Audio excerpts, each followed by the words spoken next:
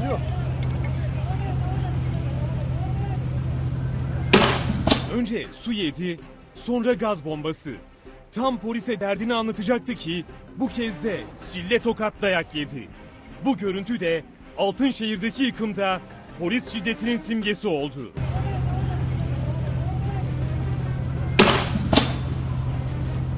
Sokaklar cayır cayır. Savaş alanı gibi.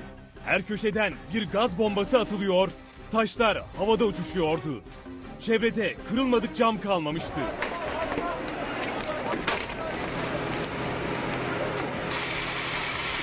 Hüseyin Pekdemir işçi. Çatışmaların ortasında kalmıştı. Uzaklaşmaya çalışıyordu ki polis panzerinin tazikli suyuyla karşılaştı.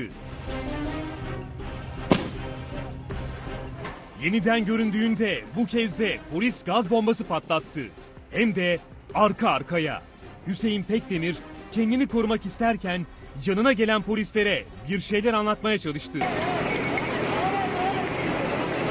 İşte bu polis o işçiyi dinlemedi. Önce kafasına vurdu, sonra tekme savurdu. Sonra da olanca gücüyle yüzüne tokadı indirdi. İkinci tekme de ardından geldi.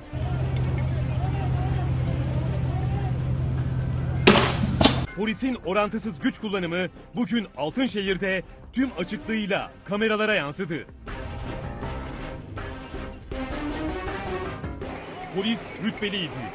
Omzundaki yıldızlardan emniyet amiri olduğu anlaşılıyordu.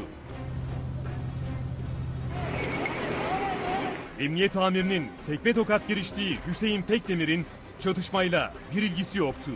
Sadece savaş alanına dönen mahallede polise taş atanları yatıştırmaya çalışıyordu. Ama tekmelendi, tokatlandı, itildi, polisten dayak yedi.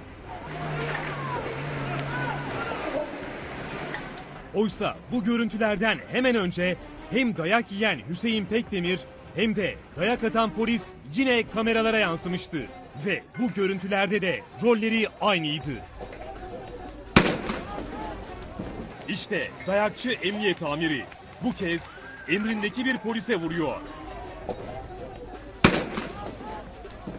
Ve dayak yiyen Hüseyin Pekdemir yine polisle göstericiler arasında kalmış.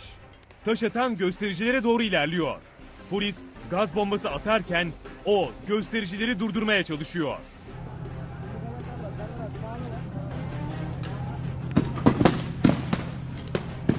Bu görüntülerden de anlaşıldığı gibi işçi Hüseyin Pekdemir'in gösterilerle ilgisi yok. O savaş alanına dönen mahallede gençleri yatıştırmaya çalıştı. Ama önlemeye çalıştığı şiddetin hem de polis şiddetinin kurbanı oldu.